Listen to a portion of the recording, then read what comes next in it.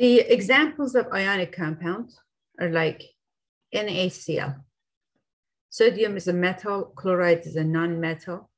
So combination of metal, non-metal, it's a ionic compound. How does it form? Sodium has 11 electrons, right? Subatomic particles for sodium is 11 electron, 11 protons, and atomic mass for, for sodium is 23. The difference between number of atomic mass and number of protons is 12, and that would be 12 neutrons. If sodium loses one electron, one electron, is going to change to new species. Now, in this case, we have 10 electrons, 11 protons, and we have 12 neutrons. Um, and 12 neutrons. 12 neutrons, they have zero charge. 10 electron is minus 10 charge, and then 11 proton is a plus 11. If you add these two, it's going to be plus one. The overall charge for the sodium ion as a result is going to be a plus one. So we have sodium ion. What happens to chlorine? Chlorine is going to, on the other hand, chlorine is going to gain electron. So if we have chlorine with 17 electrons, 17 protons, and for chlorine 35 is going to be 18 neutrons. So if you're talking about chlorine 35. In the periodic table, chlorine is close to argon, sodium is close to neon. Neon has 10 electron, but argon has 18, 18 electron. So chlorine doesn't want to lose electron, it's going to gain electron. If it gains one electron plus one electron, it's going to change to new species. This species now is going to have uh, how many electrons? Had 17 electron gaining one electron is going to be 18 electron and 18 electron is going to be 17 protons. So if we just only look at the number of electrons and protons, we have minus 18 plus 17. You add the two, you end up with one minus. So you end up with one minus, and that would be the charge of chloride ion. Now, when you when the sodium ion as and chloride ion have formed already, there would be attraction between the two. So when you have the attraction between the two, you have sodium ion and the chloride ion electrostatically attracting each other. That attraction or a strong attraction between these two is called ionic bond. So that is the example and the steps showing how ionic bond is forming. So if we go with the like detail of what the, the PowerPoint says, so we want to look at the um,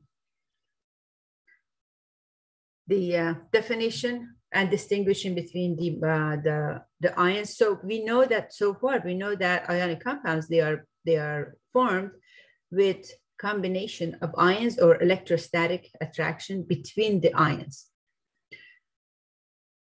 So electron, uh, atoms in periodic table, they lose electron or they gain electron in order to achieve electron configuration for noble gas.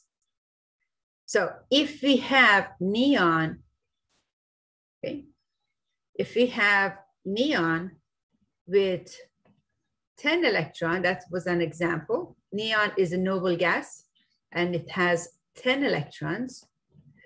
And we have magnesium, 12 electrons. Okay. Magnesium has uh, neon 10 electron and magnesium has 12 electron.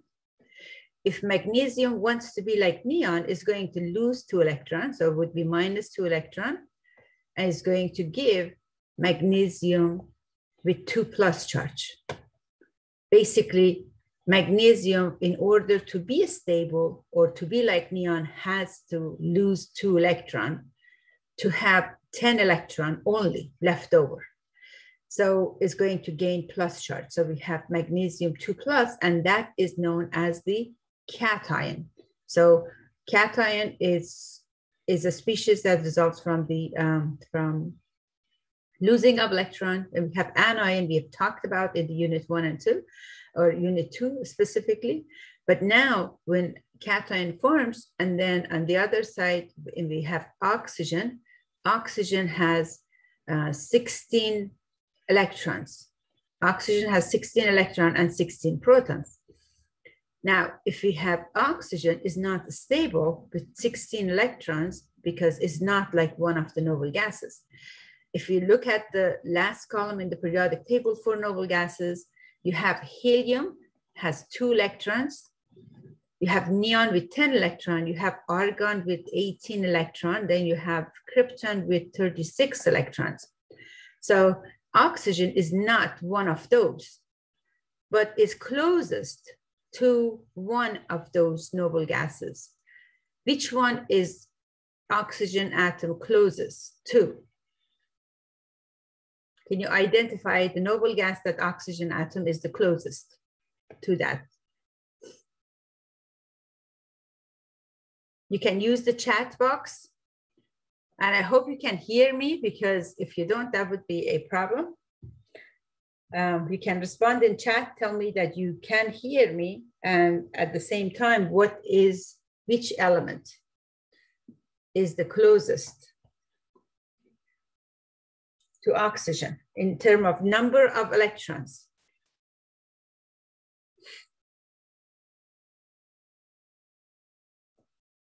Okay, let me open the chat box. Argon, very good.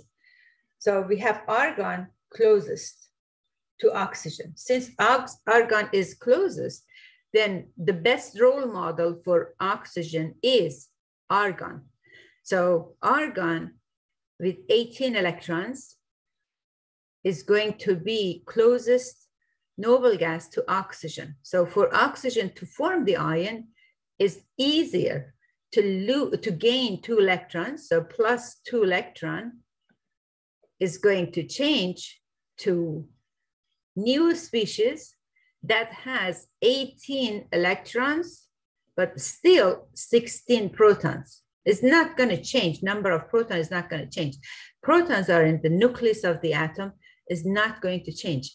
But the, the electrons, number of electrons is going to change when it's changing to ion or when it's forming ionic compound.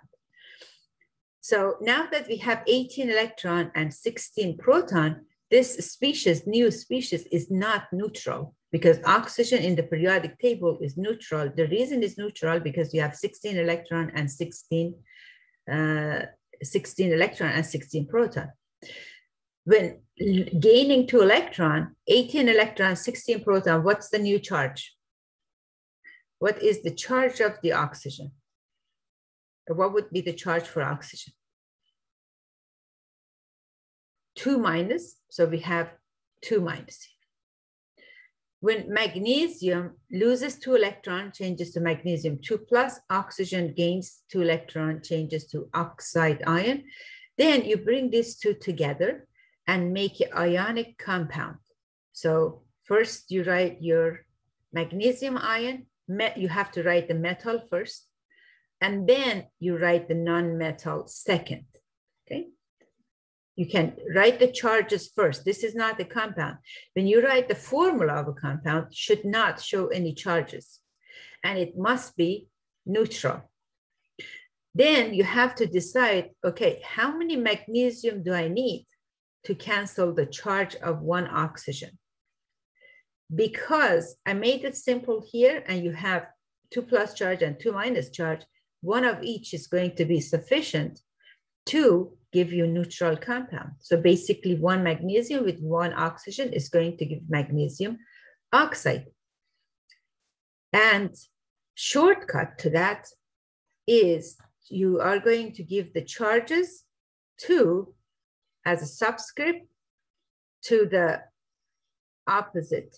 So charge of the oxygen goes to magnesium, charge of the magnesium goes to oxygen.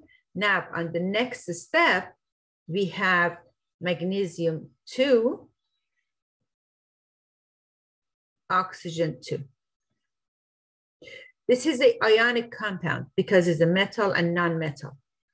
Ionic compound, they must be expressed in the lowest possible whole number ratio.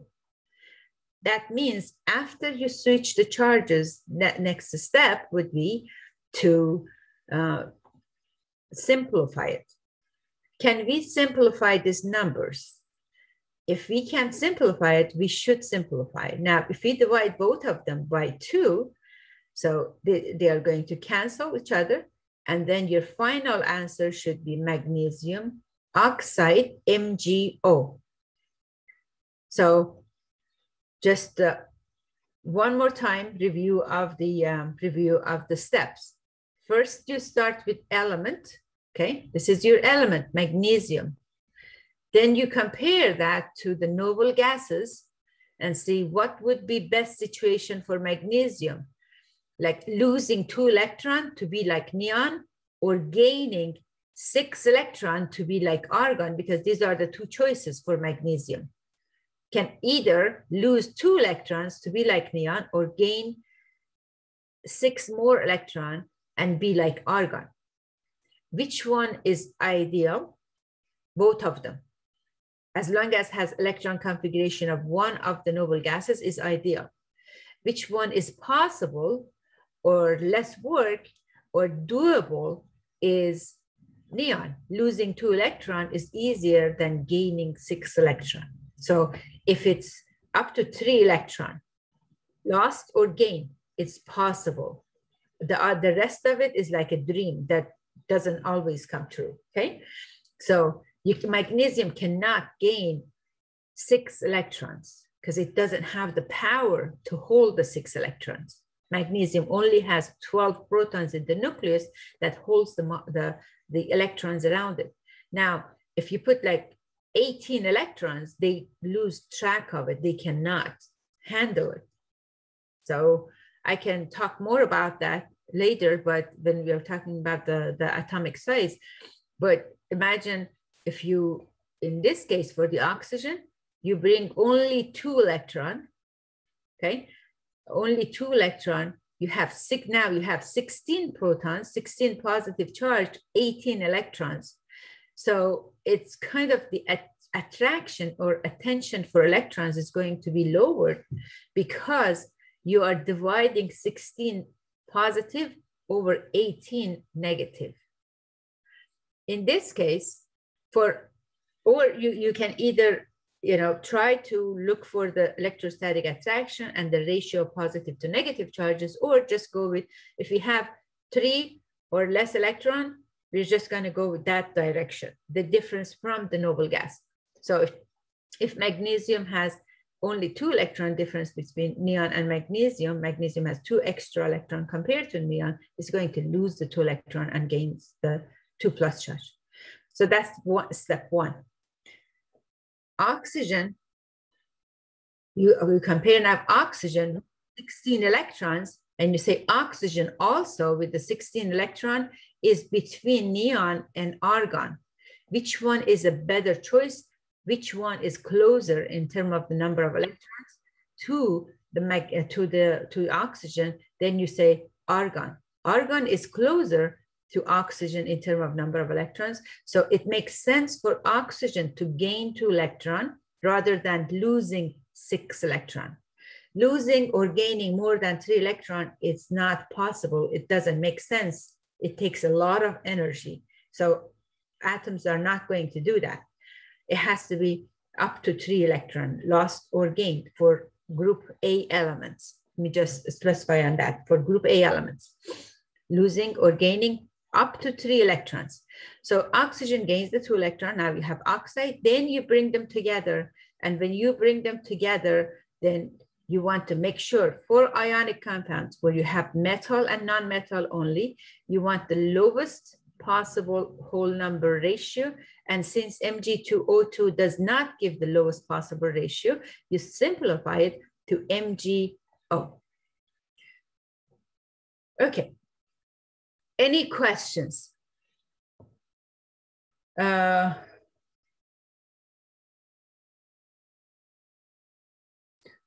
okay, good question. I see the question here. Why should I compare to noble gases? Uh, because noble gases, they are the most stable atoms in the periodic table. Noble gases, they have electron configuration that if you look at the electron configuration from uh, unit two, for noble gases, they have uh, complete s and p orbital, or they satisfy octet rule. Octet meaning that on the last energy level, they would have eight electrons. Noble gas, another name for noble gas is uh, inert gases. They are very stable. So noble gases are the, the role model for every element in the, every atom in the periodic table, every element, they want to be like noble gases. And uh, if you look at the uh, electron configuration for neon, because it has 10 electron, it's going to be 1s2, 2s2, 2p6. Magnesium has 12 electron and the electron configuration is 1s2, 2s2, 2p6, and 3s2. Magnesium wants to be like neon. What are the choices? Magnesium has 12 electrons, 12 protons, and 12 neutrons. Neon has 10 electrons and 10 protons and 10 neutrons. But can you can you change the number of protons or or neutrons? We already answered that question last class in unit two. We cannot change the number of protons. The only thing that can be changed is number of electrons. So how many electron magnesium must lose to be like neon? It's the difference, two electrons. So it's going to lose two electron. So when it loses two electron minus the two electron, now is going to have only 10 electron with 10 negative charge, but still 12 proton with 12 plus charges.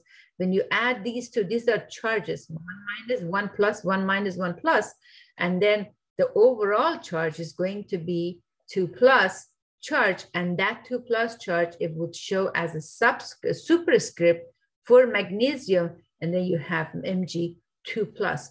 This is the symbol for the ion, okay? And after losing these two electrons for magnesium 2 plus, the new electron configuration would look like this with no 3s2 there. And pay attention, I changed the magnesium to Mg2 plus and that means I have now 10 electron only. So it's going to stop at 2p6.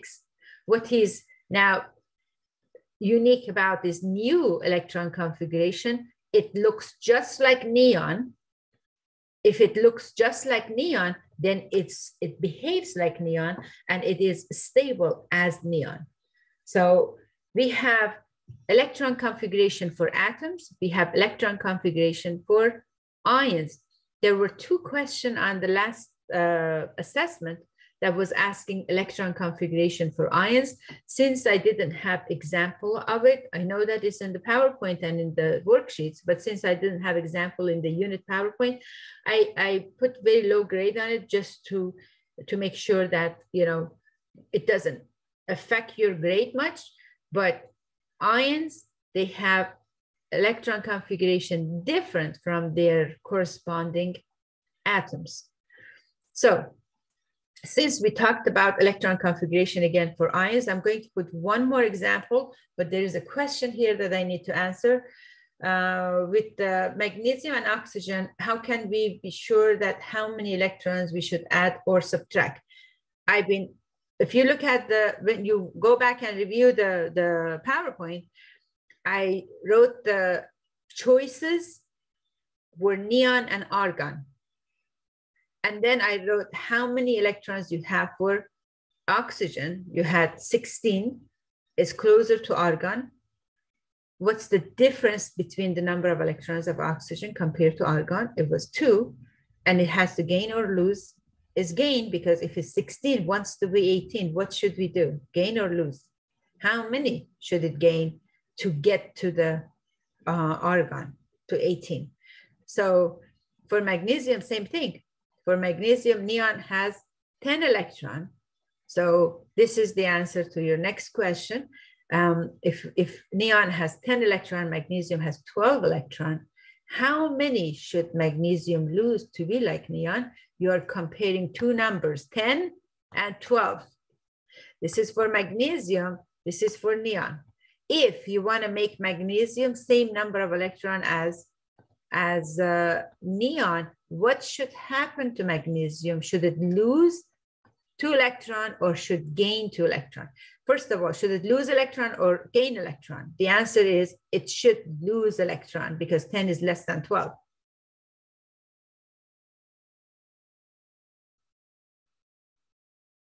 And uh, 10 is less than 12. So how many should it lose? Two, because 12 is two more than 10. So it's going to be minus two electron to be like, like neon. So in ionic compound, we just, I wanna do the electron configuration for one more ion first, and then I go to the, um, to next um, question, okay? Let's say we have calcium. Calcium has 20 electrons, okay? 20 electrons. What's the electron configuration for calcium? 1s2, 2s2, 2p6, 3s2, 3p6, and 4s2. We have 20 electrons. We have to stop right there. We have to stop right there because uh, I added already, I gave room to 20 electrons already. If that is the electron configuration for calcium, what would be electron configuration for calcium ion? In order to write the electron configuration for calcium ion, all I need is to find how many, okay, how many electron calcium ion has. Calcium, uh, so this might also help your other question. Um, calcium is between what? Between two noble gases. So I have calcium with 20 electrons. Then I have argon with 18 electrons. I have krypton with 36 electrons. Argon with 18 electron and, and, and uh, krypton with 36. 20 is between 18 and 36. Should calcium lose electron to be like argon or gain electron to be like krypton? I need that answer before I can write the next step. What's going to happen? Lose. And how many should calcium lose? Very good. Minus two electron. If calcium loses two electron, losing of electron, meaning like gaining positive charge because you lost negative charge. When you lose, when atom loses negative charge or electron is going to gain positive charge. So it has lost two electrons is going to gain two positive charges. So now we have two positive charges for the uh, for calcium ion. If we have two positive charges, how many electrons do we have for this now? Is going to be 18 electron because calcium ion has lost two electrons.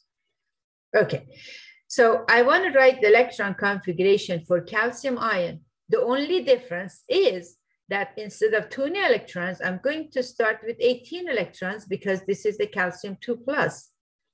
So that's the difference. The first thing and the only difference is number of electron is different.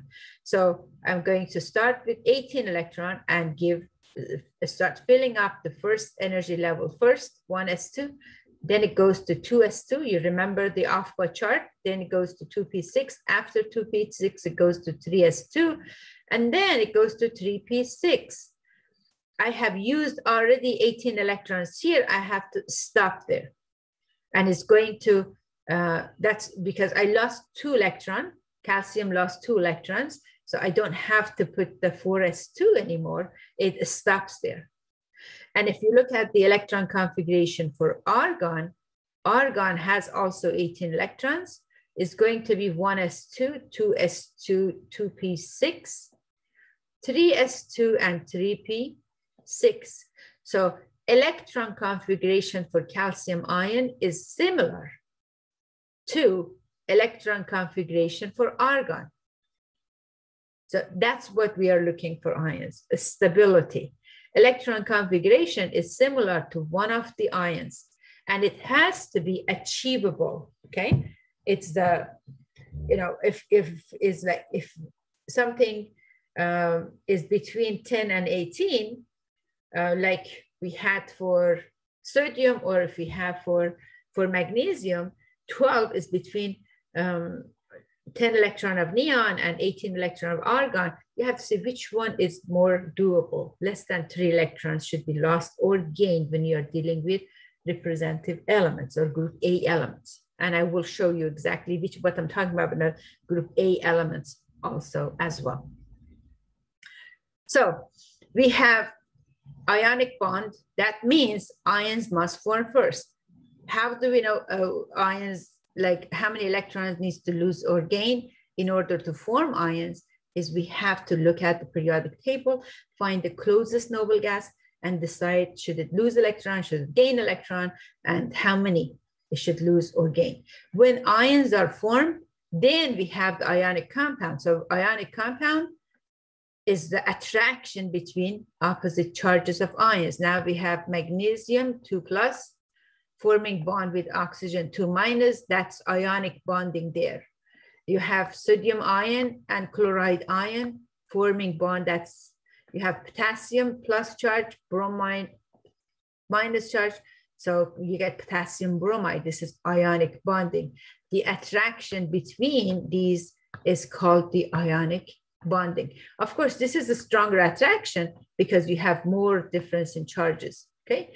Um, but still, these are very strong attraction between the ions because electrostatic attraction is, is very strong um, attraction.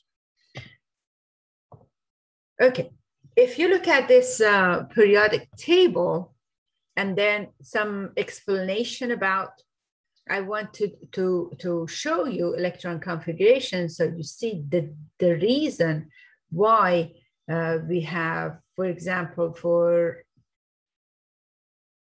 bring this down. Okay, uh, we have for group one and two, why group one is losing one electron. Okay, group one is losing one electron. You can memorize like this, group one is losing one electron. The other thing you can do is to say, okay, what do I have in group one? I have uh, I have lithium with three electrons and helium has two electrons. Neon has 10 electrons. Argon has 18 electrons, and this is 36 electrons, okay? And 54 electrons. So group one is losing one electron. Does it make sense for group one to always lose one electron? Because you, noble gas is at the end of the previous uh, row, and, and uh, when you look at the periodic table, it's increasing by one uh, as you go to the to the right side. So if fluorine is nine, neon is 10, and then it goes down, sodium is 11, magnesium 12, and all that. So lithium has three electrons, helium has two electrons. In order for lithium to be like helium is going to lose one electron. Sodium has 11 electrons, neon has 10 electrons, so it's going to lose one electron to be like neon.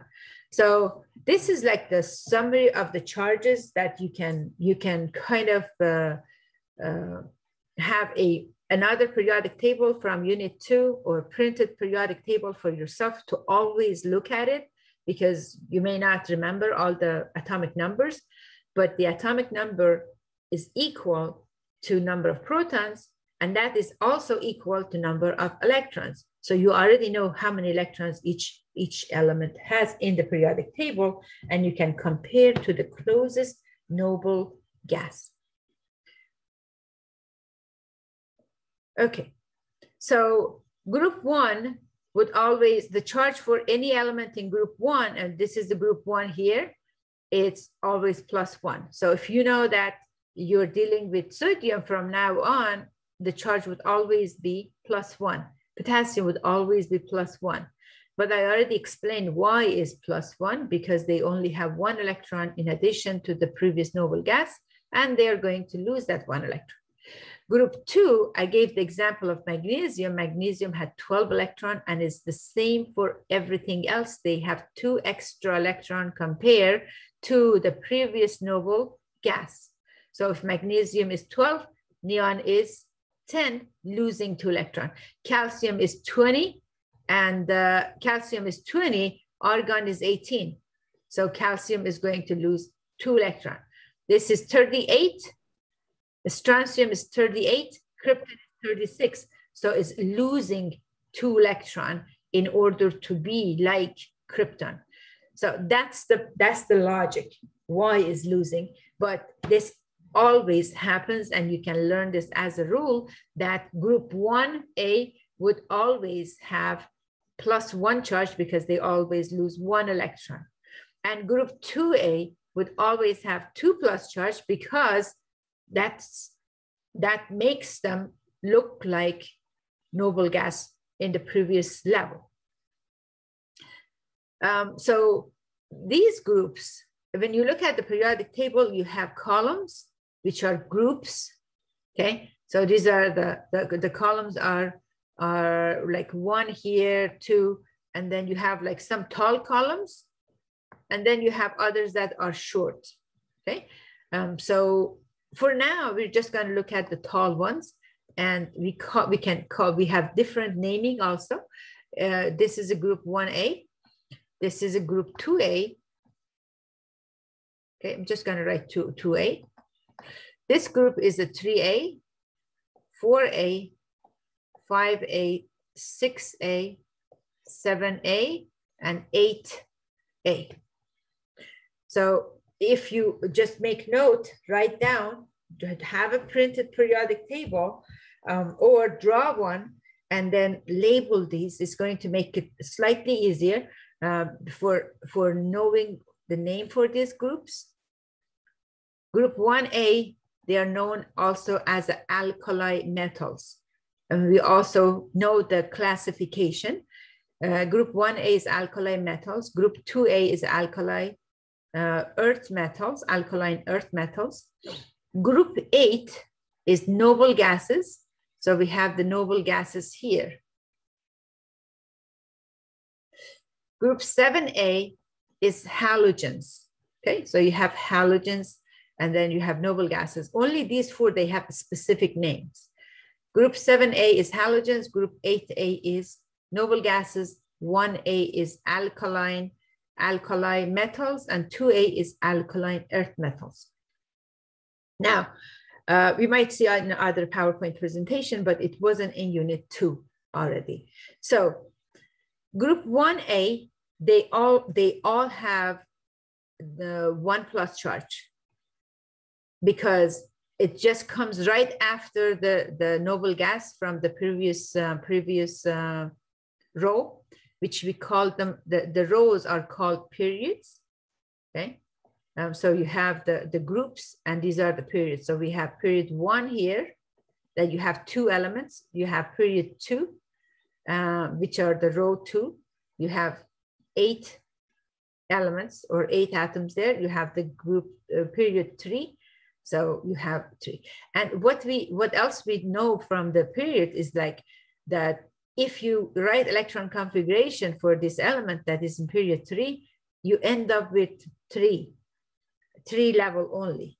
So for sodium, when you say you have 1s2, 2s2, 2p6, and 3s, uh, 3s1, that is for sodium with the 11 electrons.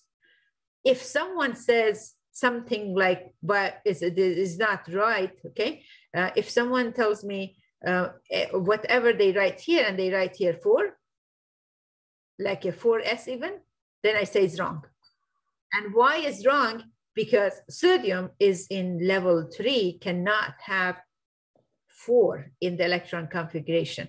So that's also, you know, if, if from the electron configuration point of view, can it can help. So uh, what happens to group 7A? What do you think group 7A should do? Gain or lose electron?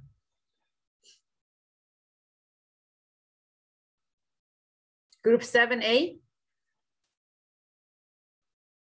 gain electron. Group 7A and this side of the, the periodic table, these are non-metals.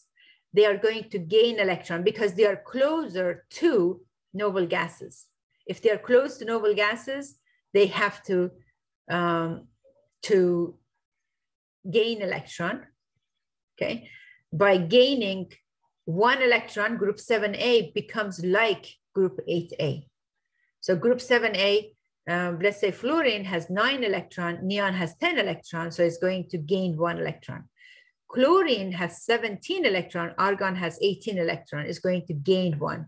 Bromine has 35 and krypton has 36, so it's going to gain one. Oxygen has oxygen has uh, eight electron, neon has 10 electron, so it's going to gain two electron. Yes, electronegativity. Electronegativity is increased this way. That's electronegativity increasing, and fluorine has the highest electronegativity. So if you have the elements on the right side of the periodic table, they like to gain electron. If you have elements on the left side of the, uh, of the periodic table, um, so electronegativity increases this way. With fluorine having the highest electronegativity, if you have anything on the right side of the periodic table in this area, they are going to be non-metal and they are gaining electrons. But if you have anything here, they lose electron. They like to lose electron. Non-metals, they like to gain electron. Metals, they like to lose electron. Okay, so what else we want to know about the, the ionic bonding? They form between ions, okay? Is electrostatic force between the, or attractive forces between oppositely charged ions. How ions are forming. Atoms lose electron or they gain electron and they give, they generate ions. Cations, positive charge, anions, negatively charged. What else we want to know about the ions? We could have monoatomic ions and we could have polyatomic ions. What are monoatomic ions? That means that it has only one element in the ion, sodium ion. Sulfide is ion.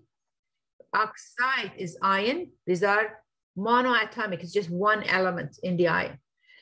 What about polyatomic ions? Polyatomic ions is a group of the elements that overall they carry a charge, okay? Examples of polyatomic ions, NO2 minus, polyatomic ion. That's the general name, and then specifically name for this is nitride.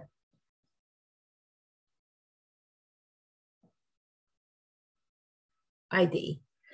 And then you have NO3 minus NO3 minus uh, is a polyatomic ion. A specific name for that is a nitrate. Okay, ATE ending and I, I, uh, sorry, ITE ending.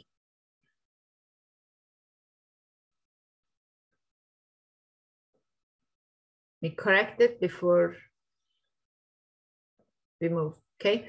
uh, IT, nitr, ITE ending, that's for NO2 minus And for NO3 minus is nitrate, ATE ending. So is a polyatomic ion is a combination of more than one atom and then more combination of more than one atom. There's a table on the next slide of this PowerPoint that shows you, it gives you a table. You have that in the book, you have them in the, in the PowerPoint. For unit three, the second PowerPoint has the, and the first PowerPoint has the polyatomic ions. You have a list of it in the, um, and you have to be, be familiar with it. There are some trends that you can kind of, it makes it easier to memorize. So if you have a choice of NO2 minus and NO3 minus, this one is known with the higher oxygen number, lower oxygen number. Lower oxygen number ends with ITE. Higher oxidation number, oxy, oxygen number ends with ATE. Nitrite, nitrate, but still is polyatomic ion. So if you have a compound that is combination of ions, it could be polyatomic ion or it could be monoatomic ion, as long as it's a combination of ions, is called ionic compound or ionic bond. So if we have here example, we have the NO2 minus, NO3 minus, nitrate, nitrite. If the variation is more than that, like for chlorine, you get one chlorine, two chlorine, three or four chlorines, then, then there's a hypo for less than two, uh, and then hyper for more than three for that. So for ClO is going to be, ClO2 is going to be chlorite, ClO3 is going to be chlorate, okay? But for ClO1 minus is hypochlorite, less than the two. And then for ClO4 minus is perchlorate, and that is more than the three, one oxygen more than the three. So these are like the prefixes that is used to, uh, to kind of differentiate between which chlor, uh, chlorine oxygen combination you're talking about or which nitrogen oxygen combination you're talking about when it comes to the ions. If you just say ionic compound that is coming from nitrogen uh, and oxygen um, combination, you have to distinguish which one you're talking about. The names, it's, they are very important. So you have to make sure that you are giving the proper name for your um, ions. Okay. Questions? You have the list of the ions polyatomic ions and the charge for those polyatomic ions. So you, we, we talked about examples that they have uh, same number or same type of elements or combination with different number of oxygen, like you have SO3 2 minus, SO4 2 minus. You see the pattern? You have like sulfite, and then you have sulfate. Okay? And uh, here you have phosphate. The phosphite is not very common. It does exist, but it's not very common. You have nitrite and you have nitrate. Um, so these are some, you know, uh, common the, the patterns that can, can help you. There aren't many of them. Uh, 1045 students are expected to remember all these um, I provide maybe for, you know, uh, maybe for quiz, but you have to, by end of semester, you have to know the, the structure or the name for these compounds in order to be able to name the, uh, the ionic compound. So cations can combine with the polyatomic ion, with monoatomic ion, but all we have to make sure is that they are going to be neutral. The ionic compound after is forming, it has to be neutral. So let's look at an example here. I had, okay. Um, what's the formula for sodium oxalate? So if you are given like sodium oxalate, you have to first write the symbol for ions. sodium ion. So we know that is sodium. So the name is given and you're trying to find the formula for this compound. Oxalate, the ion is C2 O4 2 minus. 2 minus. What's the next step? Can you tell me what's the next step? The shortcut. You can use the shortcut. What's the next step?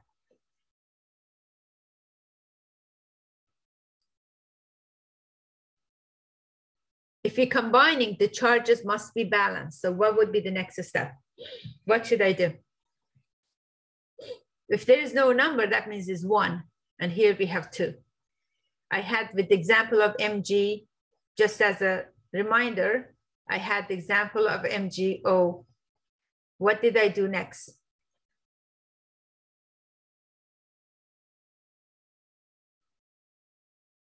I, am trying to combine these two, but I cannot just write Na C2O4. This is not the proper formula because the charges are not balanced. So that doesn't exist as a compound.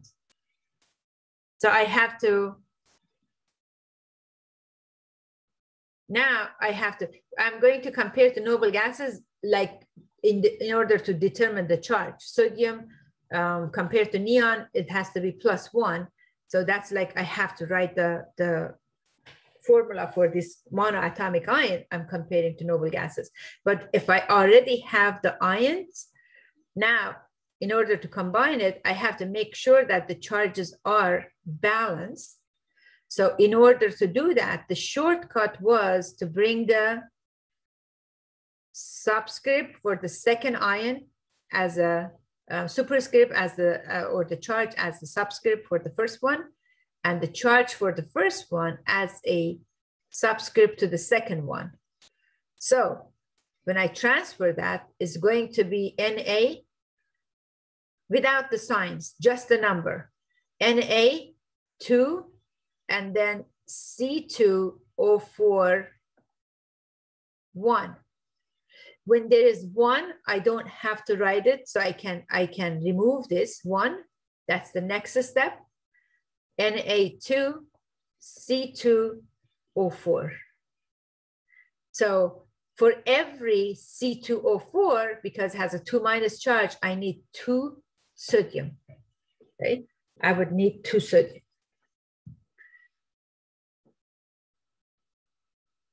Okay let me see, I should have more practices um, for this.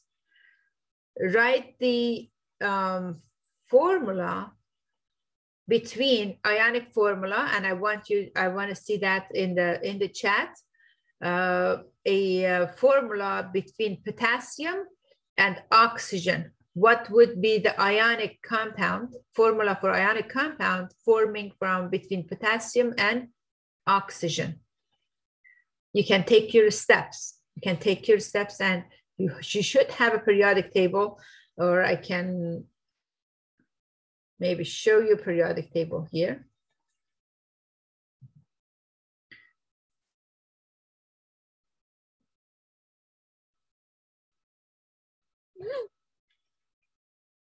Between potassium and oxygen. K and O. I want you to follow the steps and tell me what would be the formula between potassium and oxygen. Perfect. How did you come up with that?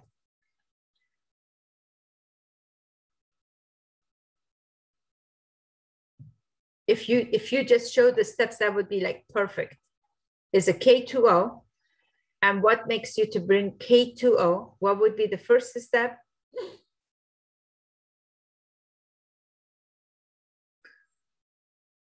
K is in group one, perfect. K is in group one, so the charge is plus one. Oxygen is in group 6A, okay? Oxygen is in group 6A. 6A, the charge for 6A is going to be negative two, so this is a two minus. That is a one plus, and this is a two minus. Very good. So when is a plus one, if there is no number, that means it's one. And your next step would be what did you do next? Since you, you did it already, what did you do next? You switch the charges, cross the charges. Thank you. You cross the charges. So it's going to be K2, and you don't bring the symbol, just the charges, K2O. And you just call it like a potassium oxide. It's potassium oxide because it's understood that if you have one oxygen, you must have two, two potassium. There is no other way. You cannot write this as a formula for potassium oxide because the charges are not balanced. If you do this, a one plus and a two minus charge is going to end up with one minus charge, KO minus. Anything that has a charge is not a compound. It's not neutral. It cannot be named. It's just an ion, okay? And, and that the ion doesn't exist. So it has, the, the charges must be uh, balanced.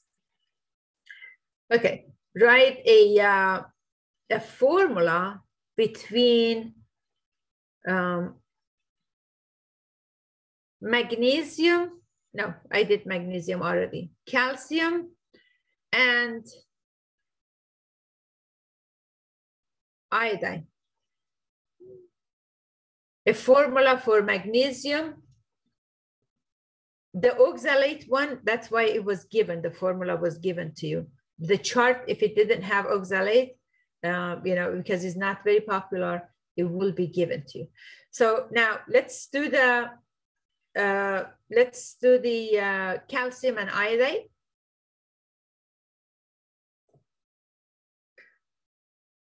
Steps, and if you can just write the formula uh, in the chat, everyone should try it because this is the only way you learn by practicing. You have to put the, you use your pen and your paper, write down. You can't read how to name. You have to practice. You have to write it. You have to go, go through the steps. Calcium with iodine, what would be the formula, ionic compound for calcium and iodine?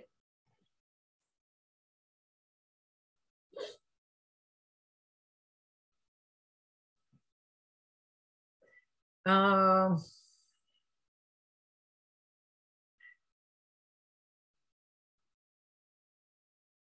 Ca2I2, no. Uh, try again, please. Start with the charges, go with the steps. You see here, this is the first step. First, you have to do this. Um, so first, let me just put the, the steps for potassium first. This is the first step, potassium, and then oxygen with two minus. Second, you cross them, okay? Second, you cross the, the numbers, which is this. This is just a plus one. And then third, you simplify if you can.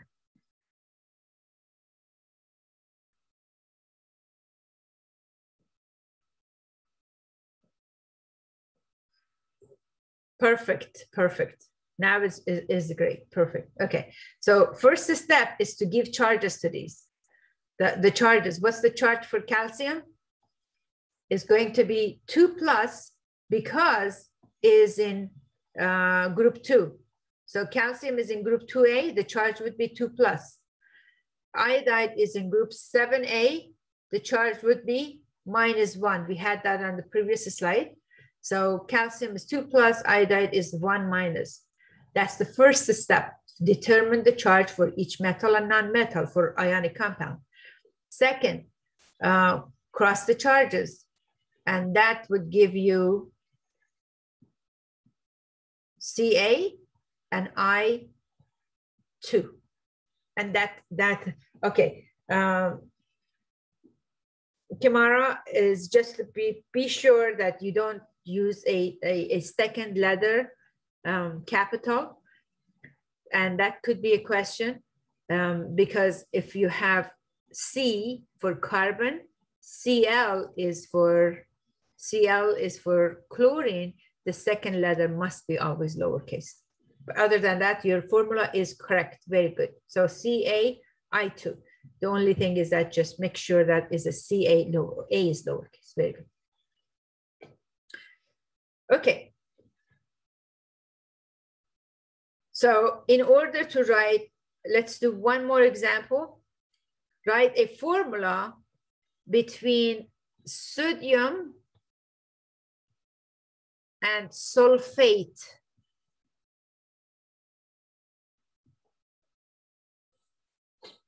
And another formula between aluminum, aluminum ion, and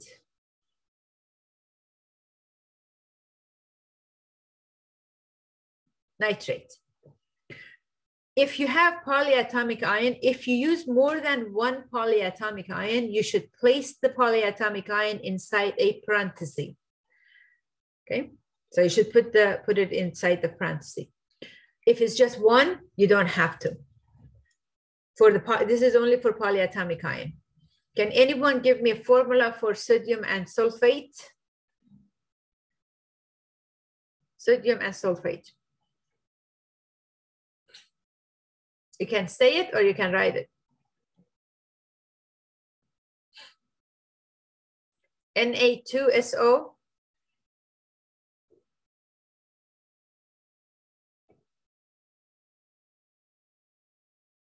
SO, what?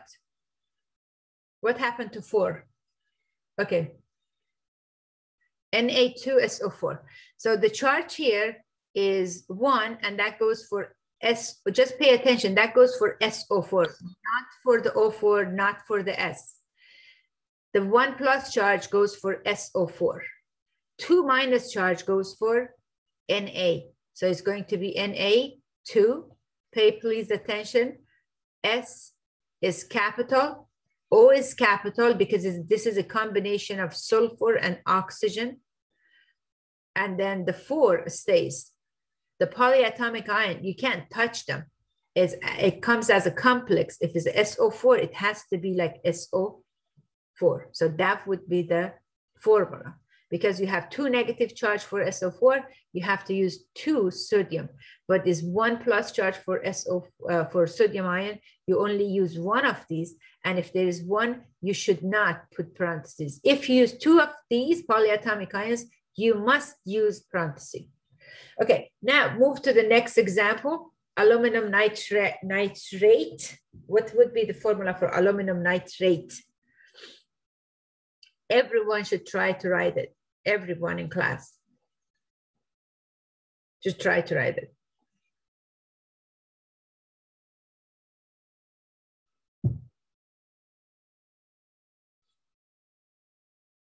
Okay, what is the formula for aluminum nitrate?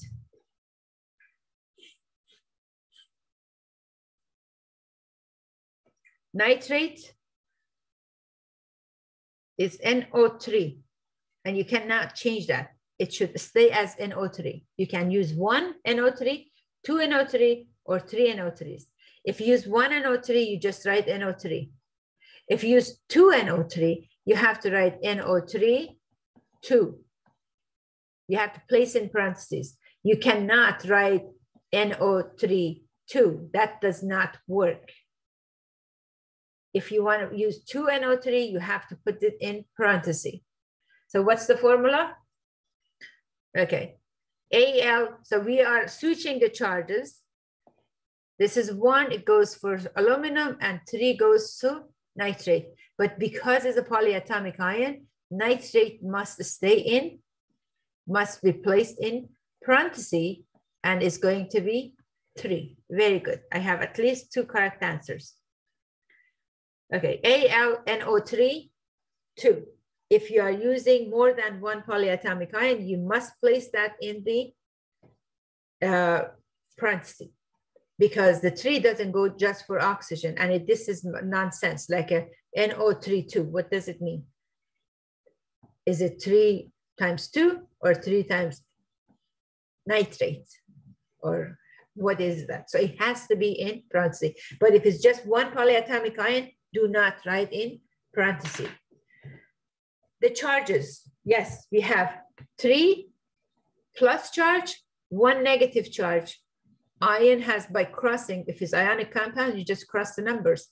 or switch the charges. That's what the, that was the shortcut for the last three, for example. That's exactly we are following the same.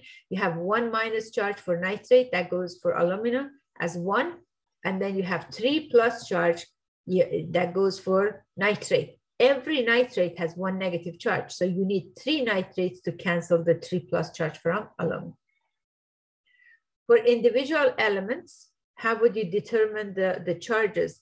We had that on the previous uh, slide. I can go back to it um, to make sure that, uh, you know, you have, if it's a monoatomic ion, you have this, these rules, some of the rules we did talk, watch the video again, please. Uh, here is how you determine the charge for monoatomic. So because aluminum is three plus, that's why I told you as a three plus for aluminum. Sodium in this group 1A is a one minus, so that, that's what you write. Uh, calcium is two plus, sulfur is two minus, oxygen is two minus. That's the charge for monoatomic ions. When it goes to polyatomic ions, you know the charge for polyatomic ions using this table here. So you have this table for you to refer to, to memorize, to learn about the charges for polyatomic ion. If it's not in that table, like this example of oxalate, it will be given and the charge also will be given. Very good question as a reminder, good reminder. So you go either to periodic table or you go to uh, the chart for the for the charges for polyatomic ion and for uh, for the uh, monoatomic ion. Okay, so we have ionic compounds. The other type of compounds, they are molecular compounds. What are molecular compounds? Molecular compounds, those are the compounds that they are combination of non-metals only, and they are by sharing electrons. They form by sharing electrons, not lose or gain of electron. Ions do not form here. So covalent compound, they share electrons and covalent bonding happens between the non-metals only. So if you look at the this key here for the periodic table. It gives a lot of information that you have your halogens, noble gases, uh, alkali metals. These are the alkali metals. You have the alkaline earth metals. And if you get questions, please know that this is where you uh, this is where you uh, where you actually find the answers to those questions, okay? So you have the alkali for classification, and then the groups. These elements in the two tall set of columns, these two are called main group elements, okay? So these are main group elements.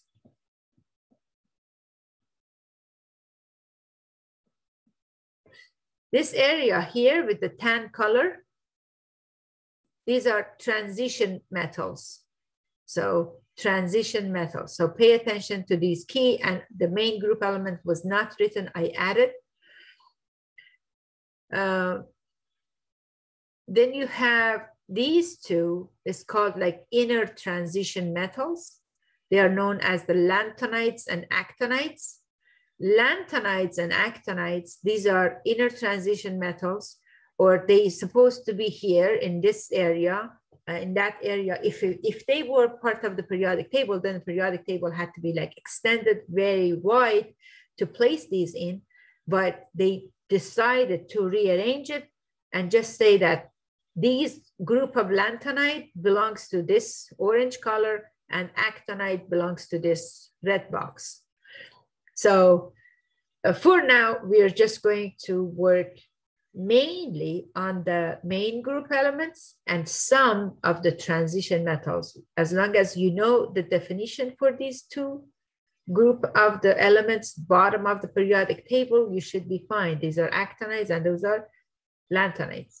but the major concern would be on main group elements.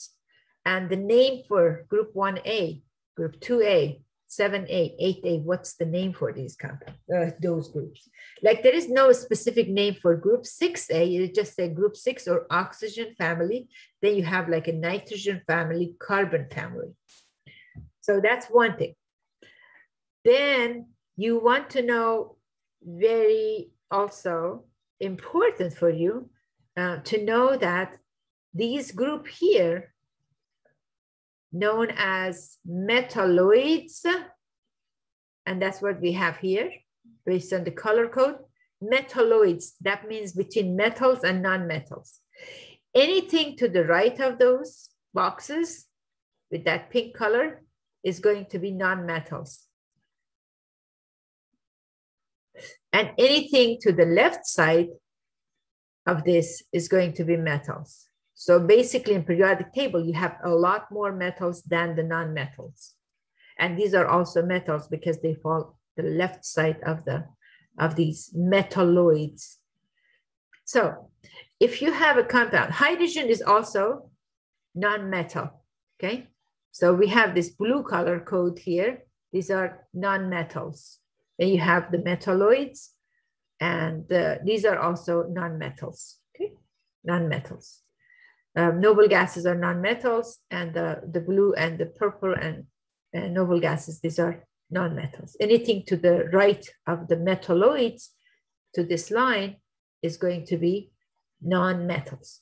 So if you have a compound like um, nitrogen made of nitrogen and oxygen with two uh, nitrogen dioxide, this is a compound but is made of two non-metal. And if it's made of two non-metal, it's going to be, it's called uh, covalent compound or molecular compound via covalent bonding, which is sharing of electrons. Okay, what is this compound? Is it metal or non-metal? I'm sorry. Is it ionic or molecular? Potassium iodide.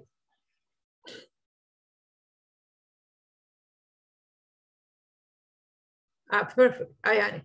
What about this compound? Ionic or, or uh, covalent, molecular? Second one, CHCl3.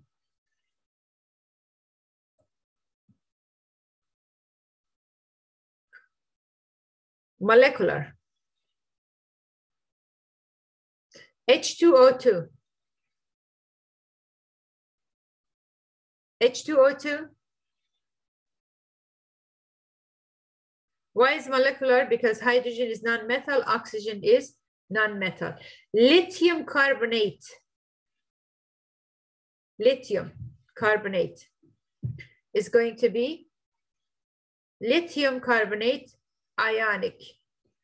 So lithium is metal, and because it's metal, any compound you see a metal is going to be ionic. Okay, NaCl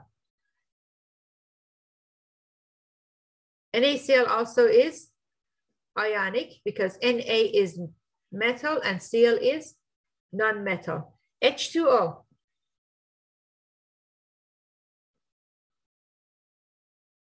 H2O is molecular because it's non-metal and non-metal. So when you have two non-metal, it would be molecular. And you have metal, non-metal, or metal with polyatomic ion is going to be ionic. The ionic compound, they exist in um, solid phase. Metals, they exist in solid phase with exceptions to few, like mercury is liquid at room temperature, but every other metal is like solid at room temperature. Non-metals, they could be liquid, gas, or solid. Same thing for molecular compounds, they could be uh, liquid, gas, or solid.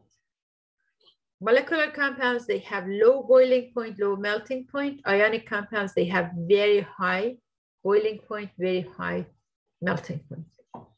So the characteristic also, it's, it's different. The properties are going to be um, different.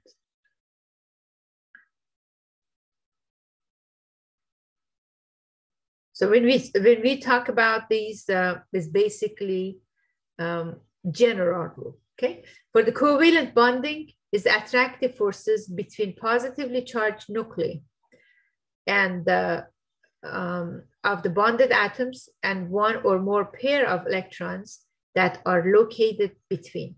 So you might say, okay, if the if the ionic compounds are held together via electrostatic attraction and the, the attraction between opposite charges, how does these molecules that is sharing electron, like this is a Cl2, okay? Cl2, ionic or molecular?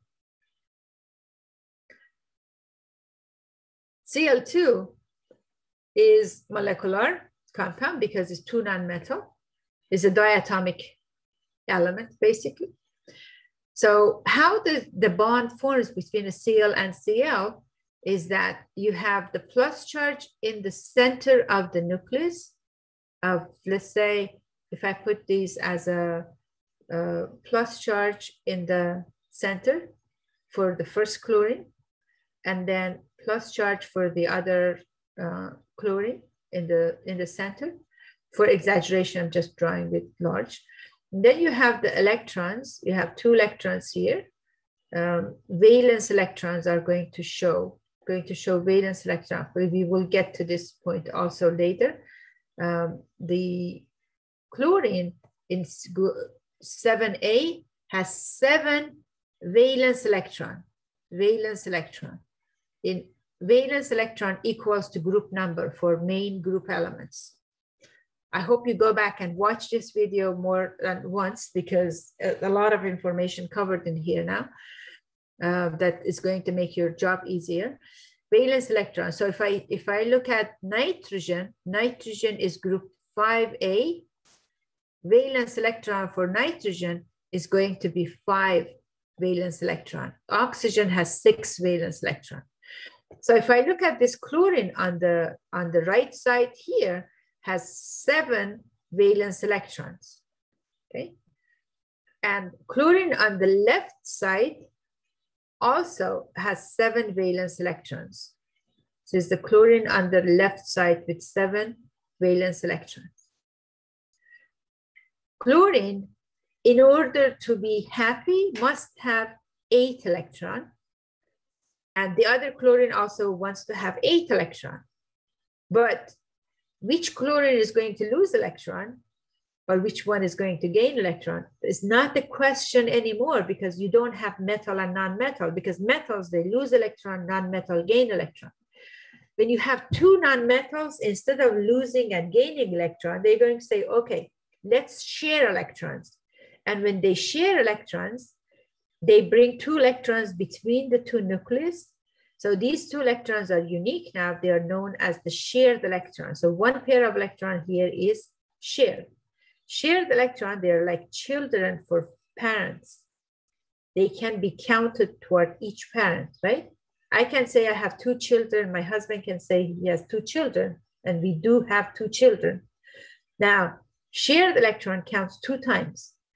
That's one unique properties about shared electron. And also, the other unique thing about the shared electron is that the shared electrons, they are loved or they are liked or they are attracted by two centers, both of them. Both parents, they love their children. So these are attracted, these electrons are attracted by the nucleus with the plus charge of chlorine on the right side and the nucleus of the chlorine on the left side. So these unique electrons that now they become like the shared electrons and they change to like dash line. It counts for two electrons. They are shared by both. And these shared electrons, they hold these two nuclei together. I don't know how true is that for the family, but I believe in that strongly that these children they actually make the bond between the parents stronger because they are sharing very unique and very special things. So you have these uh, pair of electrons here shared between two nucleus, and that's how the covalent bond forms. Is attraction, but it's not attraction between opposite charges. This is attraction between the plus charge from one atom toward the shared electrons and a plus charge from the other atom toward the shared electron. And the electrons that are shared, they count twice. Noble gases, they have eight valence electrons, eight valence electron for noble gases. When you count these shared electron twice, each chlorine would have eight electrons. So we have two, four, six, eight for the chlorine on the right side, and two, because I'm counting the shared electron two times, two, four, six, and eight. Chlorine on the left is going to have also eight electrons. When this sharing happens, a covalent bond forms. As a result of covalent bond, we do have molecular compound. So if you have water molecule, water molecule, oxygen has uh, six valence electron, and then you have hydrogen with one valence electron only. Hydrogen doesn't like just to stay with one electron because helium has two electrons. Hydrogen wants to have two electron. Oxygen, six valence electron is not good. What is the perfect number is eight valence electrons. So what's gonna happen, they're going to say, okay, let's share. And when they share, magic takes place here. They share electrons. And then so what happens when you count the shared electron twice? So we're going to say like this. This oxygen has two, I'm just counting, two, four, six, and eight. Because it, before it had only six electrons. What about hydrogen? Hydrogen has two electrons now how do you give hydrogen two electrons? Because hydrogen is shared electron with oxygen, and this pair of electron counts both toward hydrogen and toward oxygen. And these two electrons makes hydrogen feel like helium, which is a noble gas. So you get the hydrogen satisfied with two electron and oxygen satisfied with eight electron. Being satisfied with eight electron is known as octet rule, rule of eight. There's one exception for like a hydrogen that is happy with two electron, and that is like a rule of two. But often you hear about octet rule, octet rule, octet rule, because elements they want to have when they're sharing, they want to have eight electron on the last energy level or eight valence electron. And that's how the covalent compound form. Okay. Let's move to the next slide. More about ionic compounds. So ionic compounds form as a result of electrostatic attraction between the ions. So when we have sodium ion forming, okay, and chlorine uh, has 17 electron is going to gain one electron to change to chloride ion. Then you have electrostatic attraction between the sodium ion and the chloride ion and that gives the sodium chloride as a uh, ionic compound. So calcium in group two has a two plus charge, chlorine in group 7A has a one minus charge. And when the, they combine, you have to combine for every calcium, you have to combine two chloride to cancel the charges. And that's why we already learned the steps. It's going to be calcium chloride CaCl2 as the formula for the compound. Ionic compounds, they have very high melting point, very high boiling point because the attraction between the ions is very strong. Is electrostatic attraction, is like you are being electrocuted or there's a lightning, it's very strong. So electrostatic attraction, because it's very strong, it holds the molecule together strongly. As a result, you have high melting point and very high boiling point for ionic compounds. Molecular compounds, they are, they, they are the opposite. They have relatively low or much lower than the ionic compounds, like water molecule, uh, melting point is zero, boiling point is 100. If you compare these numbers, it's like huge difference between the molecular compounds, like they have less than uh, 300 uh, boiling point, melting point, and then ionic compounds, they start from 300 and up. So you get higher melting point, higher boiling point for ionic compounds.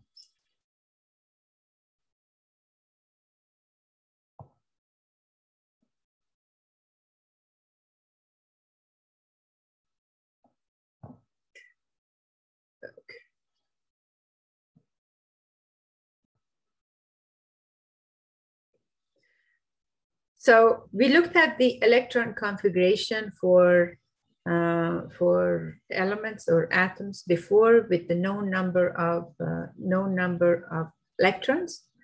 And I'm going to now start with the number of electrons for sodium. We have, let's say 11 electrons. There are a few other terms that I want to include as part of the electron configuration.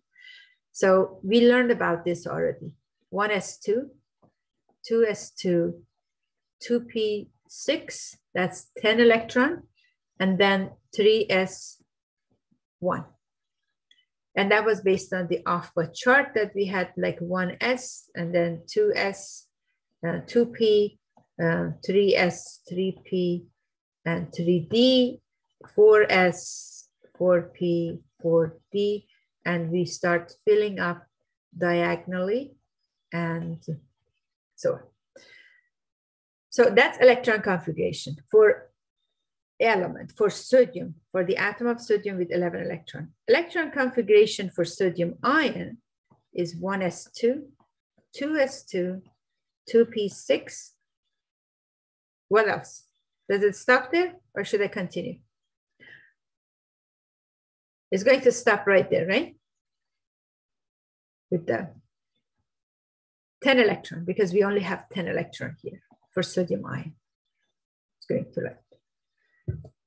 Then we have orbital diagram for sodium. For the orbital diagram for sodium, I have, I'm going to show the number of uh, orbitals in each subshell. Uh, we have one orbital for S subshell, one orbital for 2s subshell. P orbitals, they have three, or uh, P subshell has three um, orbitals. So we have the 2p, 2p, and 2p. Then we have three s orbitals. Three s orbitals. Now, if I draw the number of electrons, opposite spin, two electrons. Next goes to 2p. I'm going to occupy it singly and then start pairing up. One electron left is going to go to um, 3s. There is, this is called orbital diagram. We have electron configuration for element. We have electron configuration for ion. Shorthand like shorthand writing or abbreviated um, electron configuration for sodium, what's going to be. For that, so for, for like sodium, it's not a problem. We have like only few subshells we have to fill in. But for bromine or something that has like over 30 electrons, it's very long to write all the subshells. So what they do, they use the notation for, for the um, noble gas prior to sodium, uh, prior to the elements, and then they start with the next level. So this is the example. What is the noble gas prior to sodium? The noble gas prior to sodium, if you remember, noble gas prior to sodium is neon. So we put the neon in brackets. Put neon in bracket. And then we start, neon is an end of level two, right? So neon ends right here. That's where we have neon, Ne. Then we start the next level, which is the three, S and one electron. This is called shorthand writing of electron configuration. And that is, is uh, to make sure that, you know, you don't have to deal with um, too many um, subshells. So this is like the abbreviation. Neon has 10 electron, so it takes care of the first 10 electron, first 10 electron. And then we have the electron number 11 going to 3s. Why or how should I know that I have to start with 3s? Because the last orbital of the neon was 2p. So if I write electron configuration for neon here, um, if you did the, the practice, like enough practices, you already know, but just to make sure, um, to show you why this takes care of the first two electrons, 10 electrons. If you write the electron configuration for neon is 1s2, 2s2, 2p, 6. And if you write neon here, basically takes care of the first 10 electrons. And how do I know I have to start with 3s? Because the last electron going to for neon that is full already, and all noble gases, they do have their p orbitals full. It's just a matter that which level they are. Like argon is going to be in level three and is going to be 3p6 already. So the next step would be if the 2p is filled up, we have to go to 3s and that's how I know I have to bring the 3S. And I continue from 3S until I use all my electrons for sodium. Sodium has 11 electrons. So this is the abbreviation for electron configuration of sodium. Let's write the abbreviation for, for calcium. Calcium has 20 electrons. What is the abbreviation for calcium? What noble gas should I use? Argon, very good. So I'm going to use argon. And if I use argon, this takes care of first 18 electron. And how do I know that? You have a periodic table. You will always have periodic table available to you. You look at the periodic table, you know calcium has 20 electrons, argon has 18 electrons. So when you put argon in bracket, then you know that argon in bracket is going to take care of the first 18 electron. What should you continue after the argon? Argon, the last orbital in argon is 3p6 what comes after 3p6 or after 3p is the 4s. How many electrons should go to 4s? How many electrons should go to 4s? Two electrons. That's all is left because we already know that we have only um, 20 electrons for calcium. And if there's only 20 electrons, then we have to um, we have to get the the um, we have to stop there. 18 electron is represented by this, and then two electrons is represented by the 4s2. How do we know it's, we start with the 4s because argon is at the end of level three in periodic table. One example, one more example of abbreviation, and I think that should be enough. For the abbreviation, you get the idea. Phosphorus. How many electrons you have for phosphorus? Well, you, do you have to remember it? No, you can look at the periodic table. When you look at the periodic table, if the atomic number for phosphorus is 15, that means you have 15 electrons. For the abbreviation, electron configuration, what should I start with? I have to start with the noble gas that has less than 15 electrons.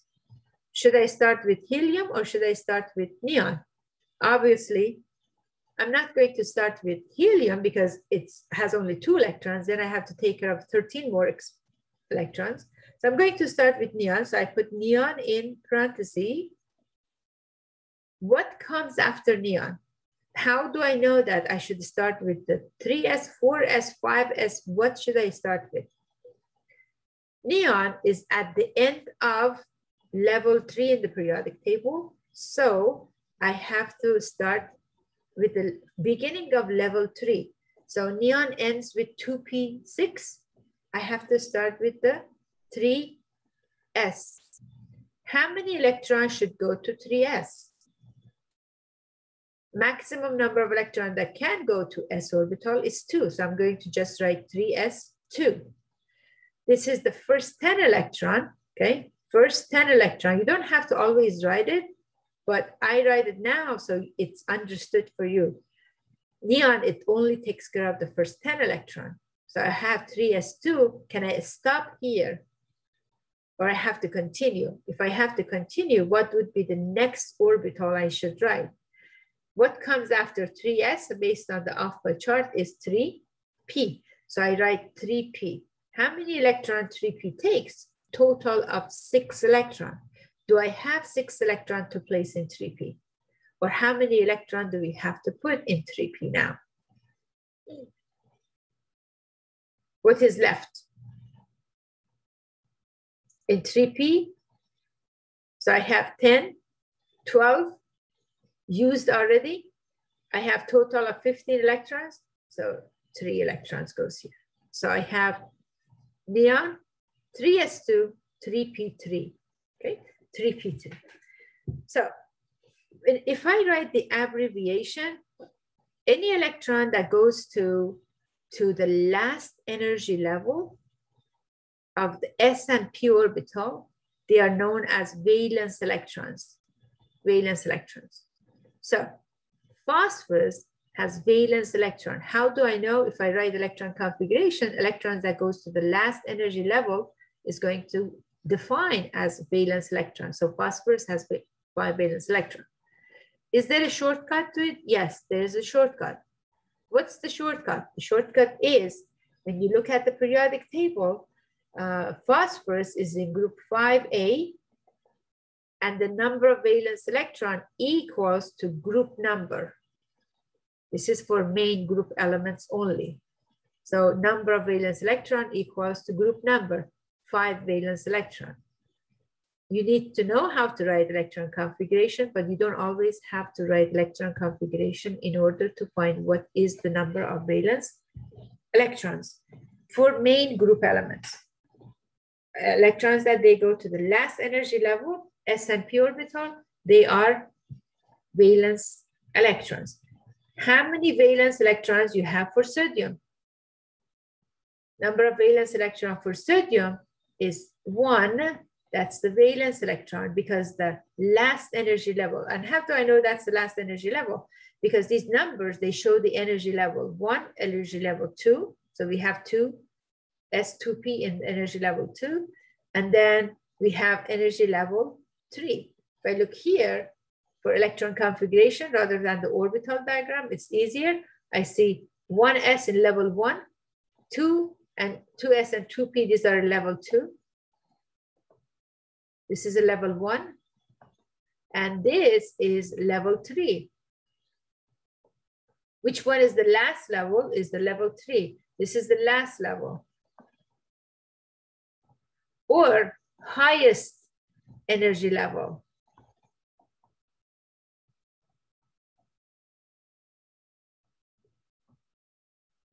And if it's highest energy level, any electron that is in the highest energy level is called valence electrons, last energy level or valence um, electrons. Electrons in the, from the short um, or abbreviation, it's easy. Anything that is in the bracket is, not, is a core electrons. Anything outside of the bracket is valence electron. So if this is valence electron, what are these called? These are called core electrons. So, so you have valence electron, core electron. When, when electron is lost or gained, it happens in the valence electron. When I was drawing that for chlorine, so let's do for chlorine, um, remember for chlorine, I only put like seven electron and that was the seven valence electron. I knew that because I looked at the periodic table and chlorine is in group 7A, so it has seven valence electron. But if I write the, the abbreviation for chlorine, chlorine has 17 electrons. For abbreviation, should I use neon or argon? It has to have less than 17 electrons. Since argon is 18, I cannot write argon. So I'm gonna have to use neon. So use neon in brackets. After neon, what comes after neon? Because neon is in end of level two, now I have to start with the 3s, 2, and then 3p, 5. That's 10 electron here. And 7 electron stops there. I have 17 electron used up. How many valence electrons do I have? Seven valence electron. Is there a shortcut? Yes. Periodic table has chlorine is in group 7A. And this is a group 7A. 7A, number of valence electron is going to be seven valence electrons. So I can write electron configuration and count, or if they ask me to write electron configuration and count, I have to be able to do that. The second way is to get the, uh, the second way would be uh, to look at the periodic table and find out that you have seven valence electron uh, because it's in group 7A. If it's an A element, main group element, number of valence electron equals to group number. And that's why when I wrote the electrons, uh, you know, sharing of electron, I said one chlorine has seven valence electron and the other chlorine has seven valence electrons. That's where I brought that valence electrons. And seven valence electron is not stable because if I write the, the electron configuration for argon, for argon, 18 electrons. For argon, 18 electron is going to be 1s2, 2s2, 2p6, 3s2, and 3p6. When I count the valence electron, I have to count for every electron that is in level three, not just this one, because sometimes you can make a mistake and say there are six valence electron. That is wrong because you have six plus two valence electrons, and that gives you eight valence electrons. Argon has eight valence electrons and is stable. Chlorine with seven valence electron is not stable. And since it's not stable, is going to find a better way to be stable and tries to share electron with the other chlorine. And now chlorine has, has uh, eight electrons. And then what about the other chlorine? We already talked about this because it's shared, shared electron counts two times the other chlorine also is going to have eight valence electrons. Okay.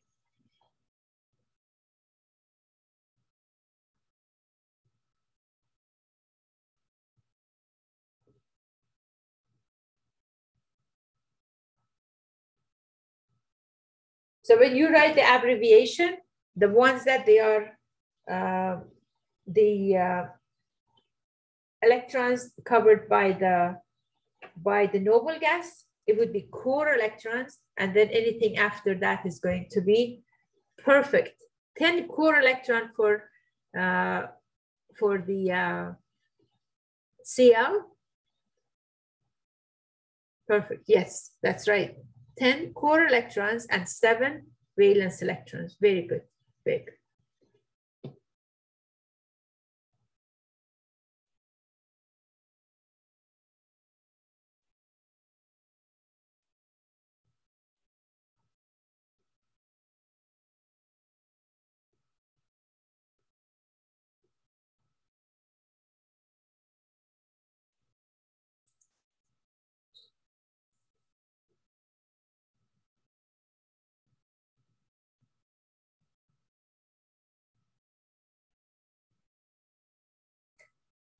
Okay.